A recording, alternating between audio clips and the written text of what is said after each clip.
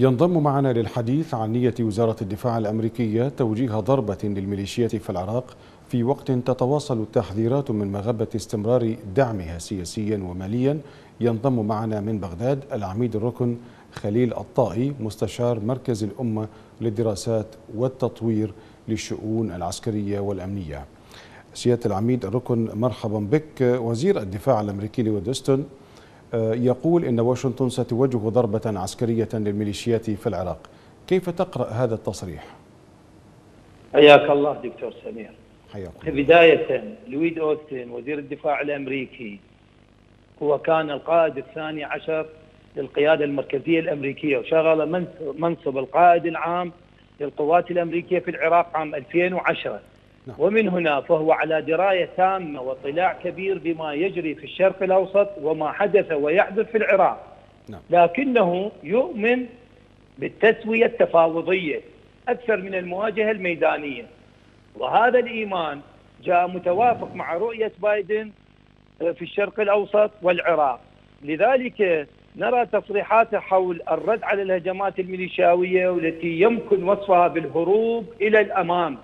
وإلا كيف نفسر دولة بمكانة وقوة أمريكا وأجهزتها الاستخبارية المتنوعة المصادر وقوتها الرادعة قواتها المحمولة جوا التي يمكن أن تنتقل وتقاتل مباشرة في غضون بضع ساعات تلجأ إلى الإعلام ليكون بديل الميدان.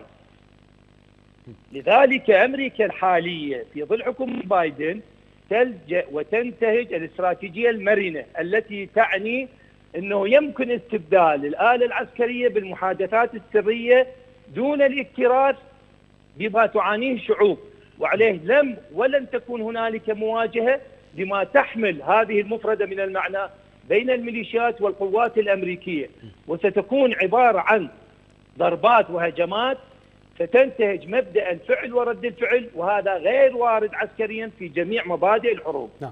أستاذ خليل آه، لماذا ما السبب؟ آه، لماذا لا تكون هناك مواجهة في الميدان بينما يكون هناك ميدان إعلامي للكثير من التصريحات؟ يعني هل تتحاشى واشنطن ضرب الميليشيات الموالية لإيران في العراق؟ يعني لو ننظر مثلا إلى يعني ما تشهده سوريا هناك عدة ضربات أمريكية يعني وجهت إلى الميليشيات هناك ولكن إلى أي مدى ترى أن هناك ربما محاذير تتجنبها وزارة الدفاع الأمريكية في العراق أم أن الأمر كيف؟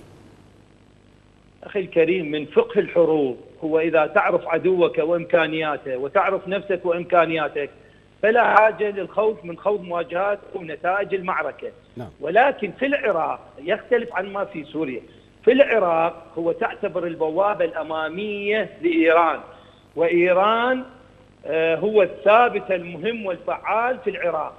ومن هنا هذه الميليشيات آه، ستزيد من سيطرة سيادتها السلطوية مقابل تحقيق الغايات البايدنية. وفي مقدمتها إحراز نصر سياسي في الملف النووي الإيراني. وهذا ما يسعى إليه بايدن ليثبت جدارته في حكم أمريكا. ولكن مقابل هذه الغايات والمشاريع والسيادة الميليشياوية سيكون الثمن دماء ومعاناة العراقيين.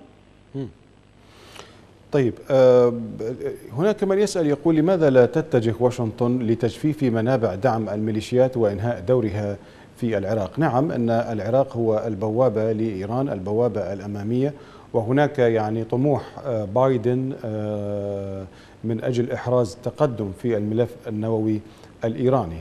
ولكن هل من نقطة ربما تصل فيها آه، الولايات المتحدة إلى تجفيف منابع دعم هذه الميليشيات من وجهة نظرك؟ أخي الميليشيات هي الأداة الفعالة لإيران وأمريكا لا تريد مواجهة إيران في هذه المرحلة. وعليه تسير أمريكا في حاليا وفق مبدأ لا يوجد عدو أو صديق دائم بل مصالح دائمة الآن المصلحة الأمريكية تقتضي عدم المواجهة مع الميليشيات وعليه لن تحدث هنالك مواجهة وستحافظ حكومة وإدارة بايدن على هذه النسبة من الهجمات والتباعدات الأمنية في الساحة العراقية.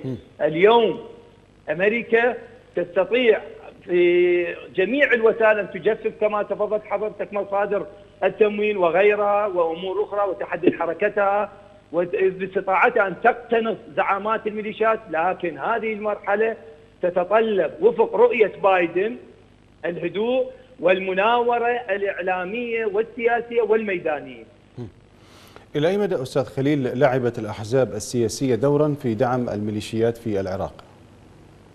في جميع الإجراءات المتخذة في العراق ما بعد الاحتلال تسير وتصب في مصلحة وتقوية الميليشيات والسبب هو من يحكم العراق منظومة ميليشياوية بغطاء سياسي يتغذى على الأوامر الإيرانية.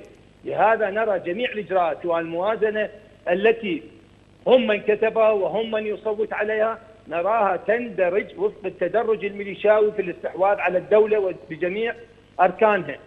وبعدين كانت الميليشيات مجاميع هنا وهناك مبعثرة أصبحت في ليلة وضحاها نظام سياسي ولكن بعقلية ميليشياوية.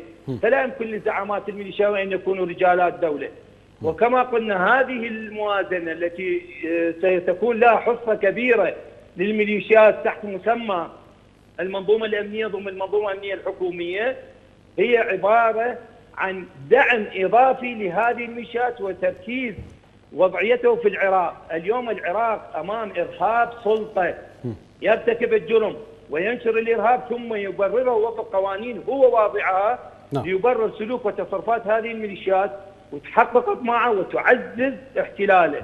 ومن هنا فالإرهاب في العراق عدة سلوك والتصرفات وبات ثقافة ونهج وعقيدة وهذا أخطر أنواع الإرهاب. نعم من بغداد العميد ركن خليل الطاهي مستشار مركز الأمة للدراسات والتطوير للشؤون العسكرية والأمنية. شكرا جزيلا لك.